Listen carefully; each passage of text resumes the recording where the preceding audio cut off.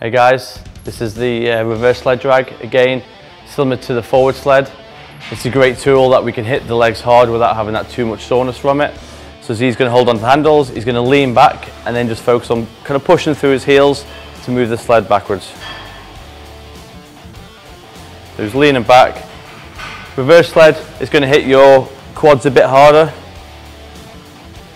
So again, so we can either walk with it or we can up the pace and turn it into more of a run.